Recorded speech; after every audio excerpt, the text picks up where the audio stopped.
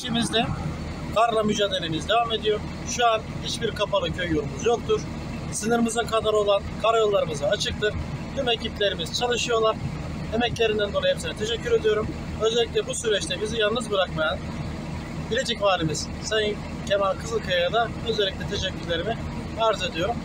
Ee, hayırlı akşamlar diliyorum. Kaymakam Bey yukarılarda ne kadar kar var? Ortalama 1 metreye geçti. Şu anda. Ama şu anda yollarımız hepsi açık. Tekrardan arkadaşlarımız kontrole çıkacaklar. Gerekli kontrolleri yapacaklar. İnşallah mücadelemiz gece boyunca devam edecek. Herhangi bir durum olduğu zaman da vatandaşlarımız zaten acil numaralardan bize ulaşabiliyorlar.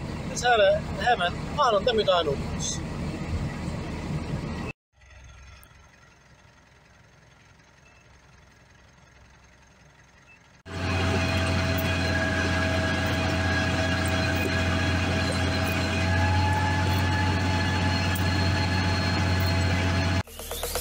Zombie apocalypse.